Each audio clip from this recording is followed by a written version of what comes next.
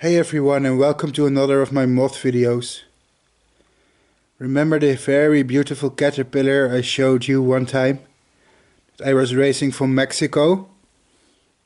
Oh you forgot. Well let me show you a clip of it again.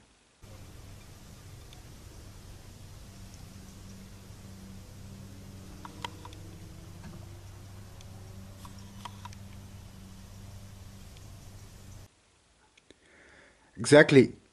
Those are the caterpillars of the same species I'm holding now. The Automeris metzli. And this moth here sure is one of my top 10 favorites of silk moths to breed in captivity. For both the adults and caterpillars are simply stunning and incredibly colorful and really the beauty is to me it's incredible. Um, despite that I've never been able to show you an adult on YouTube because every time I have bad luck with hatching the cocoons, and whoop, yeah, I'm filming this on my bed. So, so every time I had bad luck with hatching the cocoons, uh, a few video, a few weeks ago, I uh, uploaded a video of the adults that hatched, but I was working in Asia for two months and unfortunately the moths hatched just a few days before I arrived back home.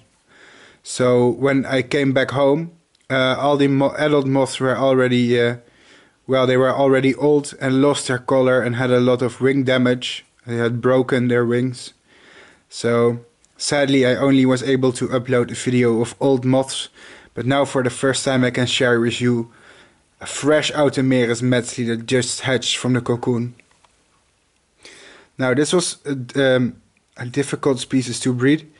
Uh, last year I raised some caterpillars, but it was not enough. I think I had like 50 eggs, and I only raised about about four to five cocoons. So that made me sad. So I cheated, and um, I I was buying some friends from cocoons. So um, there's a good chance that if if you are watching this YouTube channel and last year you sent you uh, sold me cocoons of the Automeris metzli. The there's a higher chance that this is your livestock than it is mine. But I needed more cocoons to continue my bloodline. Because for some reason I cannot really rear this species well without much losses. I think they are a little bit difficult to breed. But maybe it's just me. But if you want to raise this species, you can do it on uh, plants like oak tree, quercus, uh, I think it's possible to do it on Robinia too. They like Fabaceae. Otherwise, you can try to use bramble, aka rubus, cherry, prunus, and many more types of plants. The species is found in Central America, uh, from countries like Mexico, but also parts of Costa Rica. And there we go.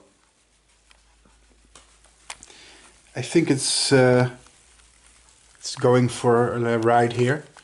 That's okay. Let me retrieve the moth in one second. Mothy, mothy, uh, you know what? I'm gonna leave it alone because if I touch it again, it will fly away. I get stuck behind furniture, blah blah blah. Anyways, I hope you enjoyed the video. I will try breeding more of them. Uh, I still need better videos of the caterpillars too. I was a bit lazy. But uh, dit was Bart Coppens with the Automeris Metzli. I hope you enjoyed.